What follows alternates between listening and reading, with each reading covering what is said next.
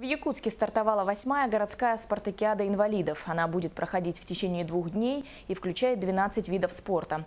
Первым соревнованием спартакиады стала легкая атлетика. В этом виде принимают участие порядка 50 спортсменов из пяти команд. По итогам городской спартакиады будет отобрана команда, которая представит Якутск на республиканской спартакиаде. Спартакиада по адаптивным видам спорта Республики Саха-Якутия у нас планируется в 2018 году. Это будут после народов, игр народов Республики в селе МГ, как э, прототип Паралимпийских игр у нас в республике планируется. Вот и команда города Якутска начинает уже планомерную подготовку.